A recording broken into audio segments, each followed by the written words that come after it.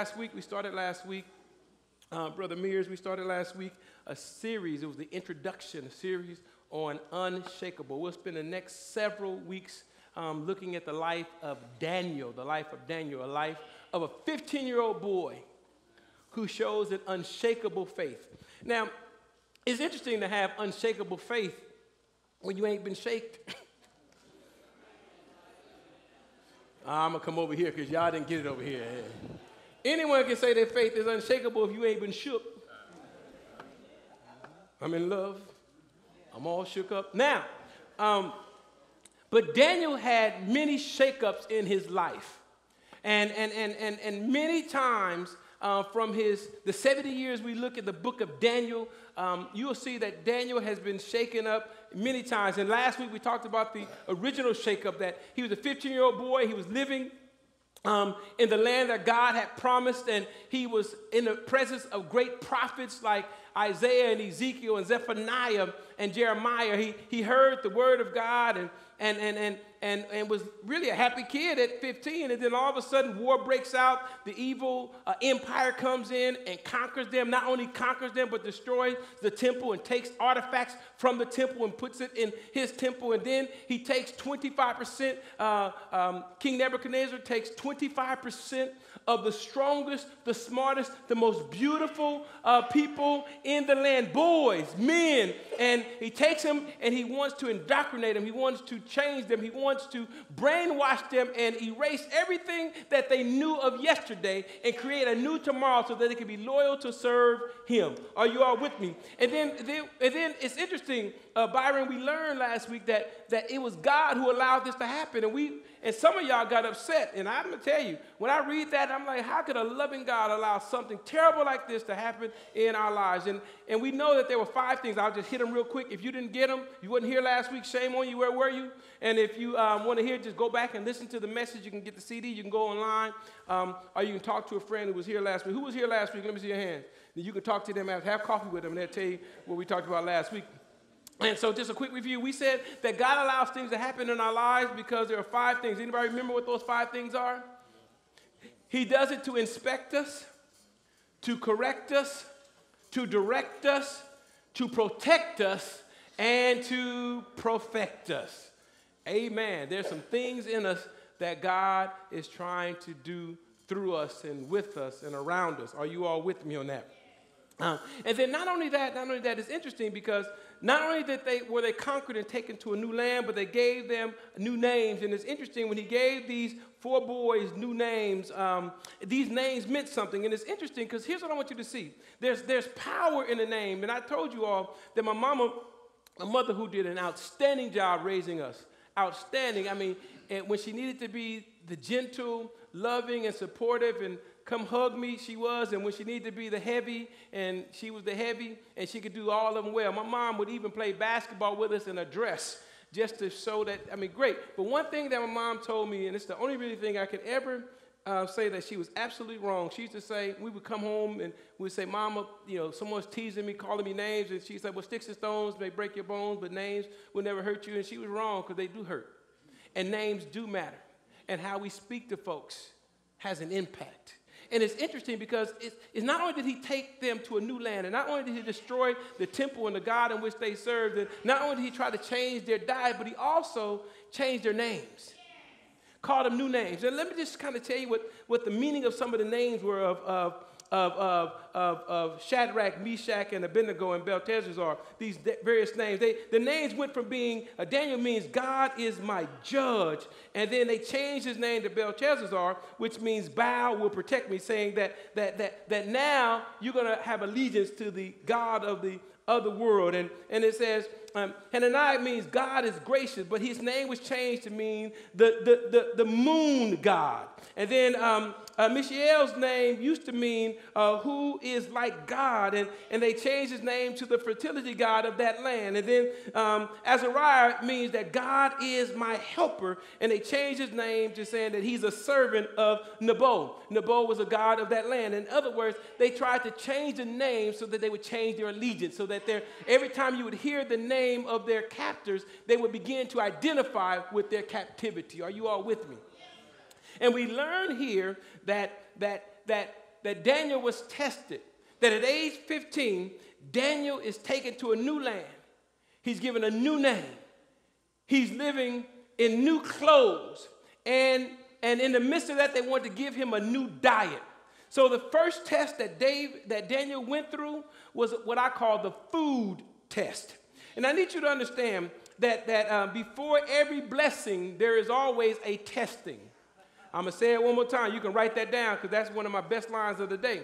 Um, I might not get any better than that. I might, I might should just stop now because it don't get much gooder. Now listen, before every blessing, there is always a testing. Testing equals God strengthening us to build something in us so that we can be prepared for what is coming our way. Does that make sense? I know one day Donovan is going to be driving. I know one day he's 12 years old, and one day he says that he's going to buy. I told you what his car is going to. We drive down the street. He says, "Daddy, you like that car?" And I'm like, "Oh yeah, that's a nice car." He goes, "It's not a Lamborghini, huh?" I know it's not a Lamborghini. He said, "I'm gonna drive a Lamborghini one day." But if Donovan could afford a Lamborghini today, he ain't ready to drive a Lamborghini today. Come on, somebody. Uh, there are some things that you have to develop and grow before you can handle what power may come your way. That car is too powerful for him at 16, 18, 20. Amen.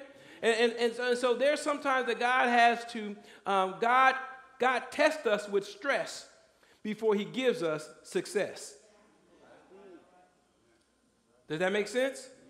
Amen. So his first test was the food test. And here in, um, in verse number five in chapter one, the king appointed for them a daily ration from the king's choice food. The king's choice food. Underline that the king's choice food. And from the wine which he drank. And appointed that they should be educated three years, at the end of which they would enter into the king's personal service. And then it goes on to say in verse 8, but Daniel made up in his mind that he would not defile himself, underline defile, defile himself with the king's choice foods. This is not some junk. This is some high level, you know, this ain't, this ain't McDonald's. This is five guys. I'm just trying to say, man, right? Amen. This is this is that good stuff, right? And and and and and and, and and it says, and with wine that he drank. So he sought permission, underline permission. I'm gonna come back to all that stuff. From the commander of the officials that he might not defile himself. Amen. Today, for a few moments, we want to talk about when, when you're pressured to conform. When you're pressured to conform. Let's pray. God, open unto us the mysteries of your faith. May the words of my mouth and the meditations of my heart be acceptable in your sight, O Lord, our rock, our strength, our redeemer, and our friend. We love you, we honor you, and we are available to you. Use us, Lord, that we may see the way and show someone the way. In Christ Jesus' name we pray. Let all the people say, Amen. When life tries to conform us to its standards, we must stand firm. You didn't get it. That people are uncomfortable with folks who are different. And so it is our desire, our hope to try to make them into a form or a shape or to conform them into a standard that makes us comfortable. Are you all with me on that? And I want you to understand that the world will always try to get you to live according to its standards. And I will tell you that here in Southern California, y'all know I got a nickname for Southern California. Um, you know what I call Southern California? The land of the almost. I meet so many folks who were almost famous, almost had a contract, almost, I mean, it's like, oh my gosh, you know, I almost, I'm like, y'all got some almost stuff. What did you do though? Amen. Amen. And, and, and, and, and, and, and, and the world wants to force us to be materialistic, to be selfish. And then we have to be able to stand firm, watch this, in a world that wants us to be like it. And, and, and we have to stand firm on God's word. And let me just tell you what God wants from us God wants us to be vessels of God's love, vessels of God's justice, and vessels of God's forgiveness. The world wants us to be selfish and to respond hate with hate, an eye for an eye, a tooth for a tooth. And God's world, God's word wants us, God's way wants us to be forgiving. Watch this.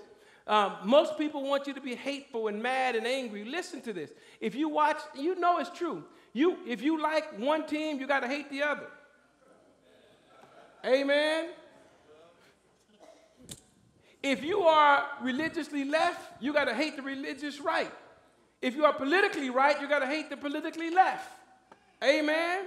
If, if you live uptown, you got to hate the folks that are downtown. I mean, it's, it, it tells us that we're supposed to hate, and God says we're supposed to love. Are you all with me on that? So the biblical standards, you know, you all want to get deep and talk about the Ten Commandments and talk about what, the, I'm going to tell you what the Bible is all about. I'm going to break it down for you. It's only three things that God really wants us to do. To love unconditionally, to fight for justice for those who are the least, the last, and the left out. And when we blow it, forgive ourselves and forgive others. If we can do those three things, we'll be all right. I ain't getting nothing but from Lizzie. Lizzie, keep on going because ain't nobody on my street. That's all right. That's all right. And, and, and so, so, so we must not be self centered and materialistic, and we must follow uh, the, the, the standards of God. And I want you all to know that, that Daniel said that you can change my name, you can change my address, you can change who I work for, you can even tear down my temple, but you will not change my heart. You all with me on that? And then he goes around and then he goes and, and he says, he says, now I want to God, here's what I want you all to see. That he stood on his faith but he did it in a way that was palatable. He, he, he and, and, and, and he had four qualities that we see in this illustration. Now you got to recognize that he could not eat that food. Let me tell you why he couldn't eat that food. Even though it was a choice food, it still wasn't healthy food. Amen. Secondly, um, he was culturally, culturally adverse to that kind of food.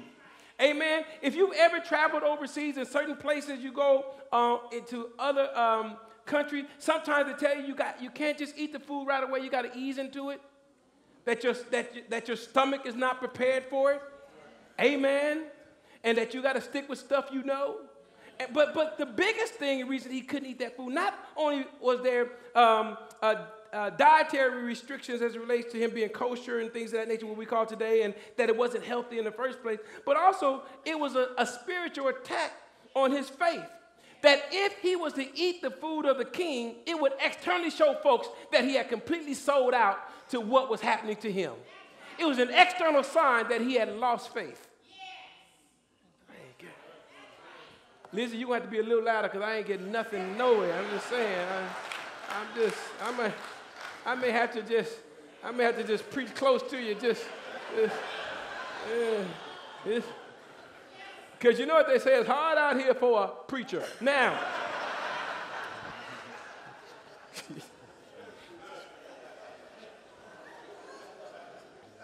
here are four qualities. Here's four qualities, real quick, that we learned from the life of Daniel in this first test. You remember, before every blessing, there's a testing. Amen. And so at the end of this test, he gets a blessing, gets a promotion. I want you to know that whenever you pass the test, then you get a promotion from God. Whenever you pass a testing from God, you get a promotion from God. Are you all with me on that? So the first thing it shows that he had integrity. Write it down. He had integrity. Da- Daniel never forgot who he was. As I said before, you could change his clothes, his address, his schooling, and his diet, but you cannot change his heart. Romans chapter 12, verse 2 tells us what? Do not be conformed to the things of this world, but be ye transformed by the renewing of your mind. Amen. Amen. And so it is it is very very important that we recognize that we have to have integrity. Integrity means that that we are practicing externally what we believe internally, that our mouth and our actions are in sync. Amen? And so that you, you, you can't say that you're a child of God, a God of love, and a God of forgiveness, and a God of justice, and you cussing folks out. Come on, somebody. You cheating folks. All right. Amen. Amen. Hallelujah. Look, look, look. look. I'm, I'm to mess you up. Integrity. Integrity means this in this season that, um, that you could get away with maybe embellishing a little bit on your taxes. Amen. Okay, tax, that's too personal for you all. How many of y'all have, have overstated your resume just a little bit, right? you were, you were shift supervisor and you said you were plant manager, eh? I'm just saying, ain't nobody, ain't nobody ever. Uh, how about we have an interview? They say, uh, tell us some of your uh, strengths. You give your strengths. Tell us some of your weaknesses. You know, I don't really. And then you say, my weaknesses, I'm so dedicated, I don't know when to go home.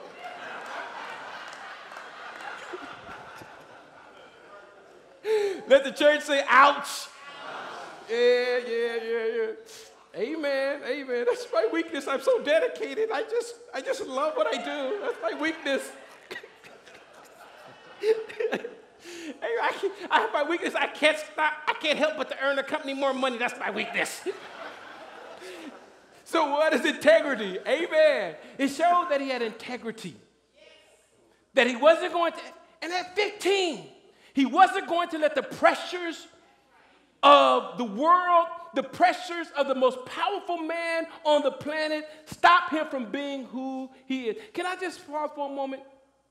This is important. I don't know if I'm going to finish this message. I may have to pick it up next week, but I think this is important. The biggest challenge to the faith sharing of Christians is our authentic expression of who we really are. We are saved. We do have power. We are more than conquerors. But sometimes we get messy. And sometimes we blow it. And sometimes we get sad. And sometimes we gossip. And sometimes we lie. And sometimes we cheat. And sometimes we cheat, we steal, but God is still working with us. And when we try to pretend we serve a perfect, uh, we serve a perfect God and we're His perfect people, we are lying to others. And there's nothing more valuable than you being authentically who you are. Does that make sense? That's a side note. I'm going to try to stay focused now. So, one is integrity. Two is he showed discipline. Daniel controlled his ego and he controlled his appetite. Listen, he says, he says he controlled his ego and he controlled his appetite. In, in verse 8, he, he humbly came to him and he, he asked him very politely, he says, you know, hey, you know, um, sir, um, um, um, um I, I, I, could go off because I don't eat this stuff, but he was like, um, um, I just, I can't do this. Um, um, and, and, and, and, and, and, I, and I need to know that um, even though I'm facing the most powerful man on the planet, and even though you have these rules for me, he says, How about this? How about we try it for a little while? How about um, you allow me to try for 10 days because you want me to be strong and I want to be strong and I think I can be strong by eating the way I eat. And if you would allow me to eat that way in 10 days, if I'm not as strong as you think, then I'll go back to your way. In other words, he didn't sell out because everyone else around him was eating. You got to recognize there were thousands of other young men his age that got, came from the same place he came from and started doing what everybody else was doing.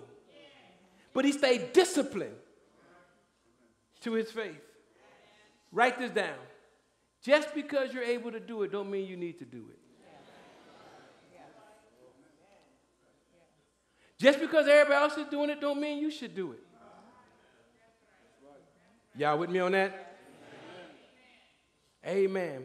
I, I, I, I remember um, what it tells us in Romans 6 and 13. Do not let any part of your body become an instrument of evil to serve sin.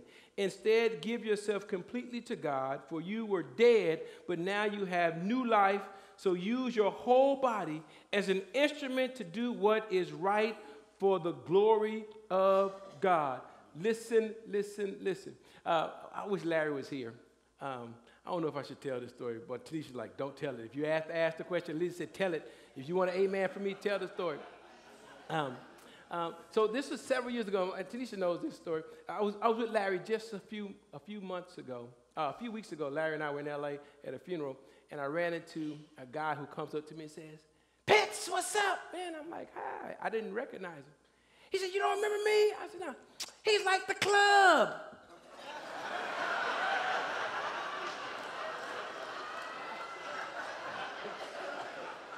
now, I'm going to tell you, I don't go, even in college, I didn't go to the club. I'm like, The club? I said, I wasn't in the club. He goes, Remember Barbados?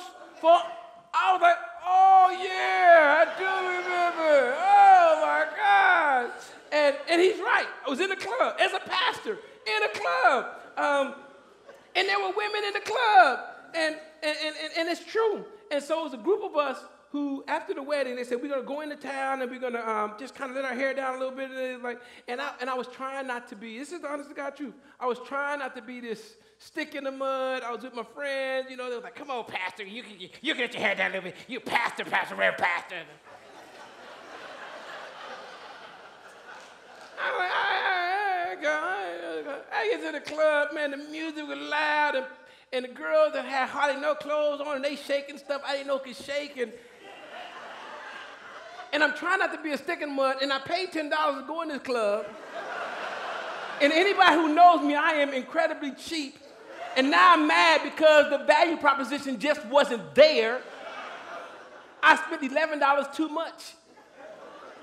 And so my wife would tell you, I'm out at the club, out front, on the phone my wife. Like, babe, I'm at the club. She's like, at the club? You don't go to I said, no, I don't go to the club. I said, but I'm here today. She said, why'd you go? I said, I'm trying to try not to be so passionate. You know, I'm trying to, you know, trying to be with my boys. She said, that's interesting.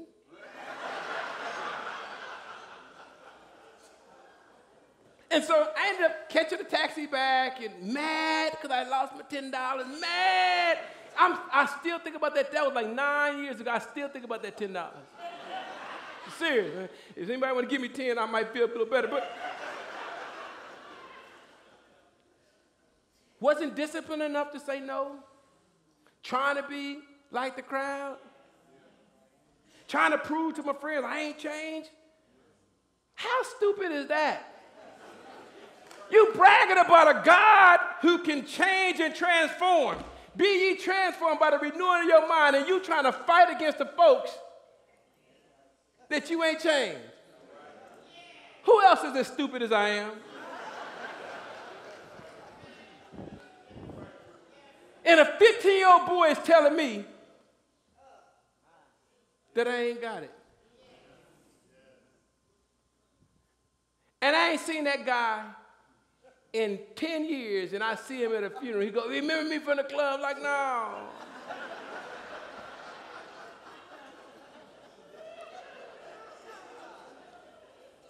Babe, Anna tells you, and she was like, You just need to go home. I said, if I go home, they're going to think I'm a punk. She's like, Whatever. All right, let's move on. Discipline. Discipline to stand, the integrity to stand for what you believe, even when the world wants you to conform. Y'all with me on that? Because he says, he says, he says, he says, I'll be polluted. He says, defiled. The word defiled means to be polluted or contaminated, a loss of purity. My witness was wrecked, but my inability to be disciplined in what I believe. Don't judge me. Amen. The next thing that's marked by his life, not only integrity, not only discipline, but we also see that he was marked by courage. Daniel was willing to stand alone. There were thousands upon thousands of young people. But Exodus 23 and 2 tells us never follow the crowd in doing what is wrong. And don't be swayed in your testimony by the mood of the majority we know that the majority is often wrong. The majority said, crucify him. Come on, somebody. that we know that oftentimes the minority opinion is the right opinion. Amen? How many of you all can call folks, you can get a majority opinion to do something that you know is wrong? How many of y'all know exactly who to call to support your minority, your, your, your, come on, your opinion of wrongness?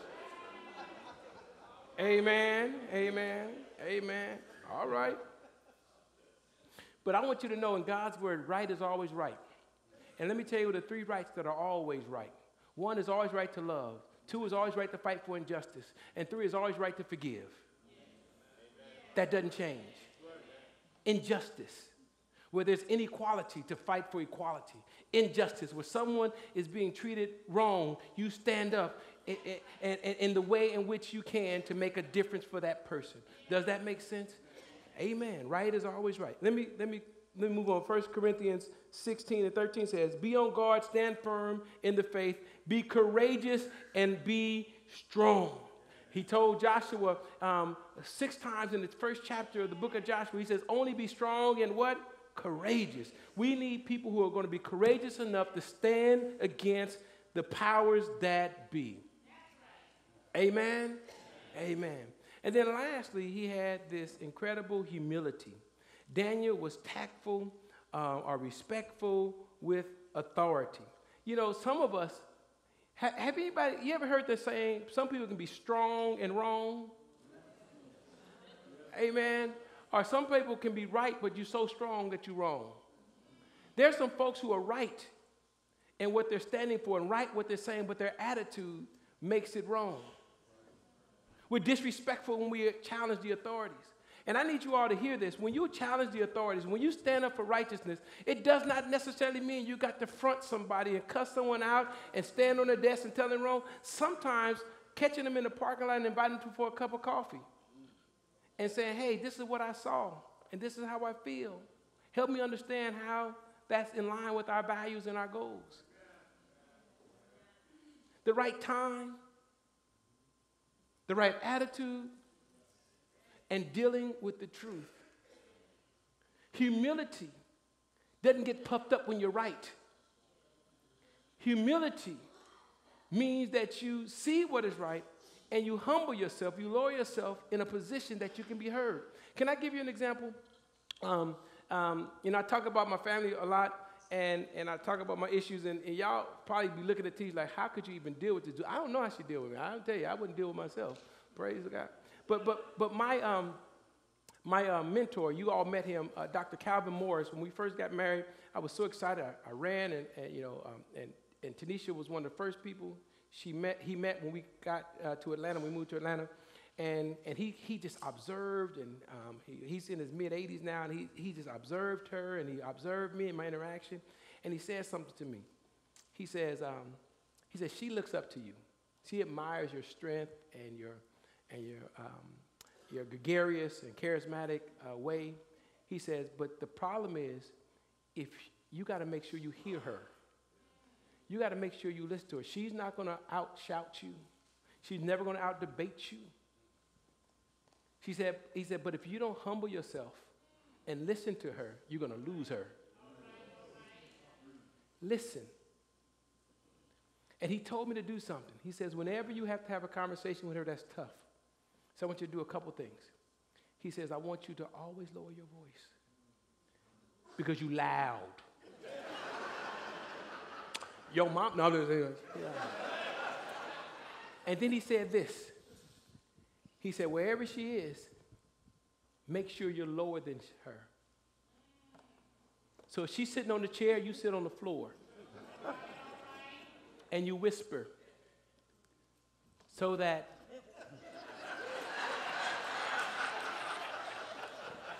Look now.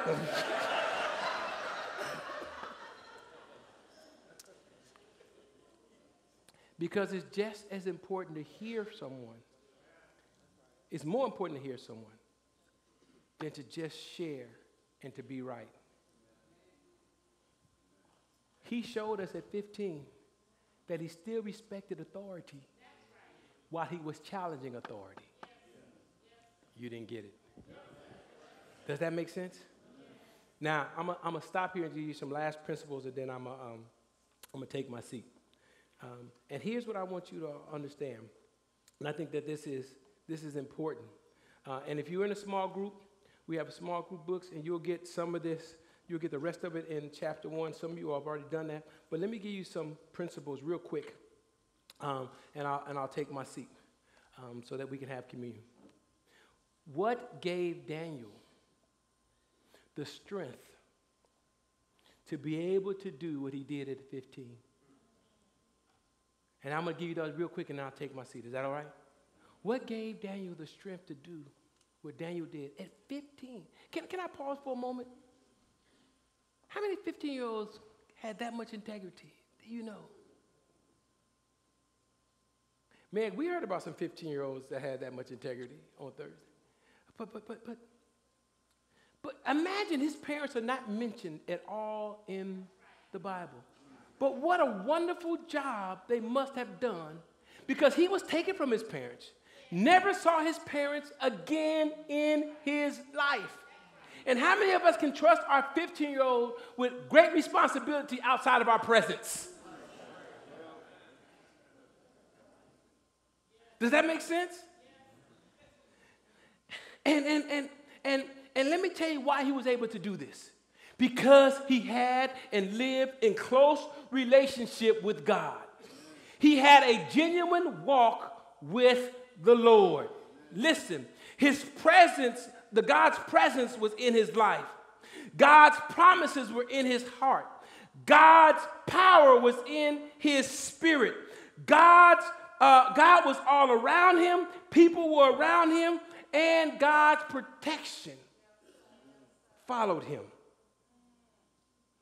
And the only way we can live a life of integrity and of courage and of humility is that we recognize that we have Jesus with us and we will never be alone. Amen. We have to recognize that the Holy Spirit is in me or in us. We have to stand on the promises of God that are with me. And then finally, it says that people were all around him, that he had a group of praying folks around him. God's family surrounds me. Listen, he had Shadrach, Meshach, and Abednego. And that there were thousands that stood in a line with Nebuchadnezzar, but he had a few good praying saints around him. And I want you all to know that's why you must be in a small group.